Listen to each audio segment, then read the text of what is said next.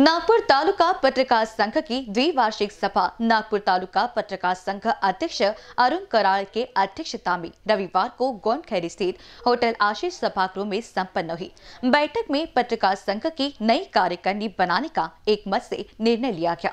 अब दो साल के लिए पत्रकार संघ नागपुर ग्रामीण के अध्यक्ष दिलीप ठाकरे, कार्याध्यक्ष अजय तायवाड़े उपाध्यक्ष समाधान चौरबकार सरचिट्टे सौरभ पाटिल, कोषाध्यक्ष राहुल शिंदे जिला प्रतिनिधि जितेंद्र उके प्रसिद्धि प्रमुख शुभम राउत, प्रसिद्धि प्रमुख संजय खांडेकर, प्रसिद्धि प्रमुख नटवर अबोटी, सलाहकार सुरेश फलके, सलाहकार अरुण कराळे सदस्य गजेंद्र डोंगरे, सुरेंद्र भाजी भाजीखाय गजानन तुमड़ाम, जय कांतीकर, शुभम ठाकरे, विलास उइके, अंकित येनुरकर, प्राची उके वैशाली डोंगरे का चयन किया गया।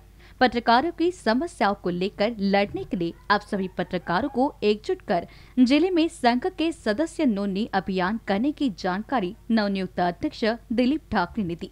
बैठक का संचालन नटवर अबोटी ने किया। आभार जितेंद्र ऊके ने माना।